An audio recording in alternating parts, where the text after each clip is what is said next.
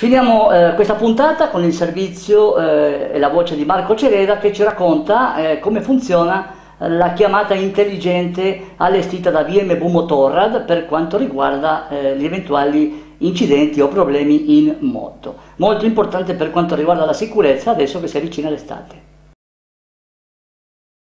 Ottenere aiuto sulla scena di un incidente o di una situazione di emergenza il più rapidamente possibile può salvare delle vite. Ciò vale specialmente per i motociclisti. Per questo motivo BMW Motorrad ha sviluppato un sistema opzionale di Intelligent Emergency Call, pensato per portare aiuto sul luogo dell'incidente o dell'emergenza il più rapidamente possibile. Nel caso di un incidente, un sistema di e-call integrato sul veicolo può fare la differenza tra la vita e la morte.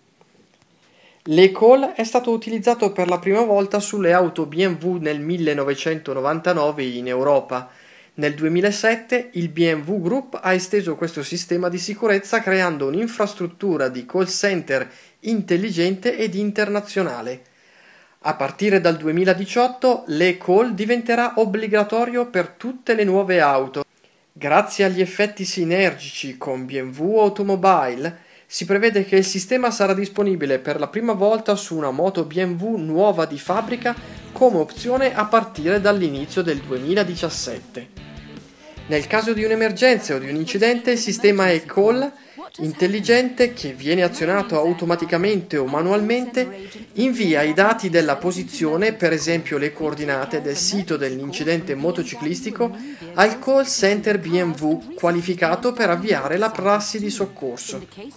L'attuale posizione, nonché l'informazione per determinare la direzione di marcia vengono trasmesse per semplificare la localizzazione del motociclista in posti difficili da individuare, come per esempio svincoli autostradali stradali. Le call richiede una connessione alla rete telefonica mobile per innescare la sequenza dei soccorsi. Nell'opzione Intelligent Emergency Call, il collegamento viene stabilito mediante l'unità di comunicazione mobile installata sul mezzo. Per stabilire la connessione non è richiesto nessun provider specifico di telefonia mobile, ne basta uno qualsiasi attivo. Il servizio sarà disponibile in tutti i paesi europei. The rider can no longer cancel the emergency call. With automatic triggering in case of a minor fall or collision, the rider still has the opportunity to cancel the emergency call at the press of a button if no help is necessary. La chiamata intelligente di emergenza tiene conto di tre possibili scenari. Il primo è l'inoltro automatico in caso di grave caduta o collisione, dove la chiamata d'emergenza viene inoltrata automaticamente senza esitazione, mandando un messaggio ad un call center BMW autorizzato. Il secondo scenario è l'inoltro automatico in caso di una caduta o collisione di leggera entità. In questo caso la chiamata di emergenza viene inoltrata soltanto dopo 25 secondi prima di inviare un messaggio al call center BMW. Nel caso non fosse necessario ricevere aiuto dopo un incidente di poca importanza, la vittima motociclista ha la possibilità di annullare la chiamata d'emergenza premendo un pulsante.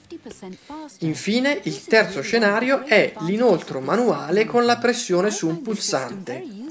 In questo caso la e-call viene inoltrata manualmente premendo il pulsante SOS sulla parte terminale del manubrio destro, per esempio chiamando aiuto per conto di altri utenti della strada se necessario. La chiamata di emergenza non viene inoltrata automaticamente in situazioni che non presentano emergenza, per esempio se la moto cade da ferma o in incidenti a bassa velocità senza il coinvolgimento di altri utenti della strada. Se la moto incontra una buca sull'asfalto che la fa saltare o se deve superare qualche piccolo ostacolo su un percorso fuori strada.